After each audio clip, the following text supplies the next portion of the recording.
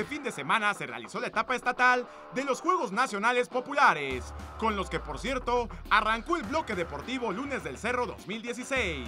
La inauguración inició en punto de las 10 de la mañana en el gimnasio Ricardo Flores Magón, donde se dieron cita equipos de fútbol popular 6x6, así como también todos los artemarcialistas de las distintas escuelas de Gushu en Oaxaca.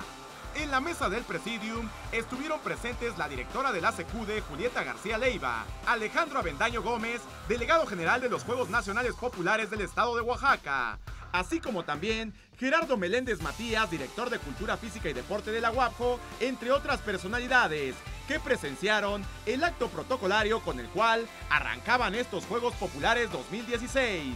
El juramento deportivo corrió por parte de Marco Ortiz, jugador de fútbol popular. Que competiremos con honor, lealtad y disciplina, respetando los reglamentos del juego limpio. Gracias. Mientras que la declaratoria inaugural la realizó la licenciada Julieta García Leiva. 10 horas con 27 minutos, me honro en declarar inaugurados los Juegos Populares 2016 en su etapa estatal. Mucho éxito y felicidades a todos. Para el Gushu fue todo el sábado de actividades, mientras que en el fútbol popular se necesitaron de dos días para conocer a los representantes del estado en los próximos Juegos Populares Nacionales en estas dos disciplinas.